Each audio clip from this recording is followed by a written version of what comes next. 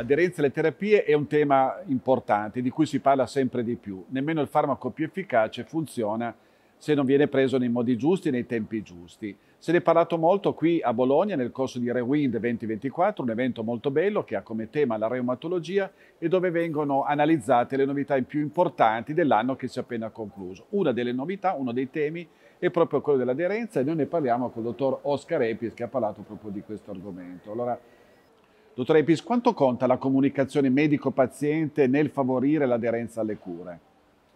La comunicazione medico-paziente è fondamentale. Eh, pensiamo che il motivo per cui il paziente non prende la terapia è legato prevalentemente alla non corretta comunicazione medico-paziente. Il paziente intenzionalmente non assume farmaci, decide spesso sin dall'inizio di non assumere farmaci, quindi c'è una non aderenza che chiamiamo primaria intenzionale. In alcuni casi inizia la terapia, poi intenzionalmente smette di prendere i farmaci. Allora questa intenzione di non prendere la terapia è legata essenzialmente a una non eh, efficace comunicazione medico-paziente, il che purtroppo capita abitualmente nei nostri ambulatori per una serie di motivi. Uno perché la visita dura 20 minuti e se pensiamo alla non intenzionalità primaria, ossia nel momento in cui facciamo diagnosi al paziente che già ha i suoi problemi nel captare la gravità della malattia e lo, gli diciamo anche quali sono le terapie da fare, ecco, alcuni muri si alzano e quindi questo passaggio di comunicazione è, è, è assolutamente, eh, succede con una certa facilità.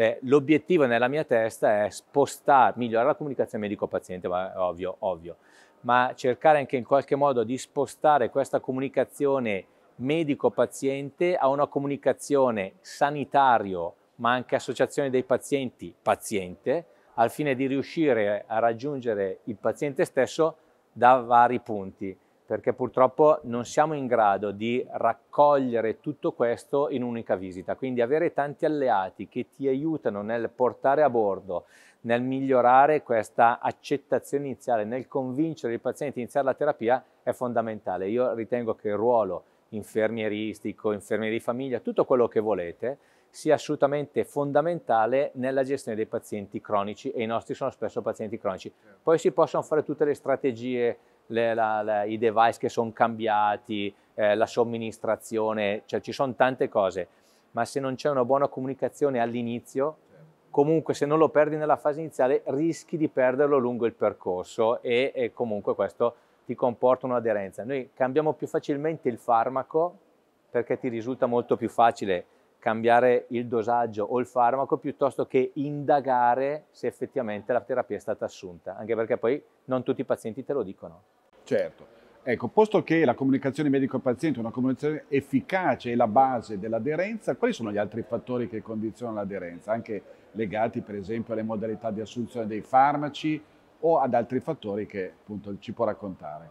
Ma tantissime sono eh, eh, le, i, i, motivi per cui il paziente può diventare non aderente, cioè se pensiamo al paziente anziano che ha molte comorbidità e ogni comorbidità solitamente accompagnata da una terapia e quindi alla fine assume 17 farmaci in un giorno, 17 sono troppi e decide di sospenderne qualcuno, magari te lo dice, magari non te lo dice. Ma pensiamo per esempio qual è il grande vantaggio che hanno avuto le eh, terapie in ambito cardiologico quando il paziente prendeva il diuretico, l'antipertensivo e altro, li hanno concentrati tutti in un'unica somministrazione, in un'unica pastiglia e quindi anche il ridurre il dosaggio nel corso della giornata è importante.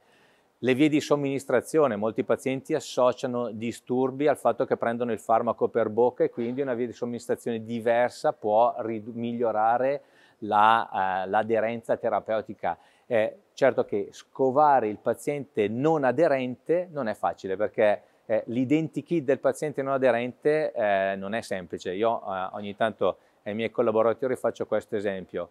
Il paziente tipicamente meno aderente qual è? È il giovane adulto, quarantenne, diciamo così, in carriera, giacca e cravatta, che è single e quindi non c'è magari la fidanzata, la moglie, la compagna che lo massacra, ecco questo paziente è poco aderente. Come si suol dire l'abito non fa il monaco, tu ti aspetteresti che questo qua, il modello in assoluto, alla fine poi alla fine non, non, non si cura. Quindi è veramente difficile, eh, non esiste eh, la, la, la, la soluzione. Noi quando abbiamo alcuni pazienti non aderenti magari cerchiamo di spostare le terapie laddove è possibile infusionali, almeno per vedere il paziente che assume il farmaco. Ci sono alcune strategie. In realtà purtroppo eh, non abbiamo ancora queste così grandi conoscenze. Quindi l'elemento fondamentale è dare informazione, fare informazione. Certo.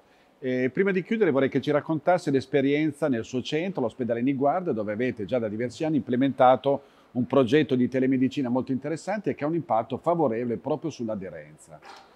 Ma gra grazie per la domanda perché la telemedicina è uno degli argomenti che mi appassiona assolutamente di più, se non fosse perché dal 2014 facciamo telemedicina e telemonitoraggio e ci sta dando grossi, grandissimi risultati.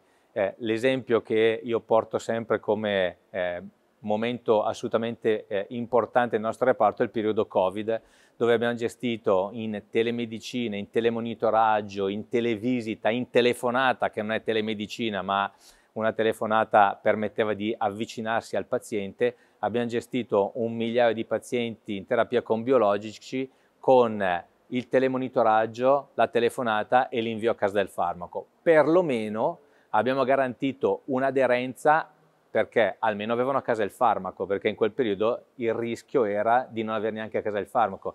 Il Covid è un motivo di non aderenza terapeutica. Adesso sono passati un po' di mesi, barra anni, ci siamo dimenticati, ma la gente usciva di casa, alcune volte i farmaci non li aveva e se stai bene magari non ti interessa averlo, ma poi se non ce l'hai perché stai bene poi stai male il problema aumenta. Quindi anche le situazioni eh, gli ambienti, determinate situazioni possono condizionare l'aderenza.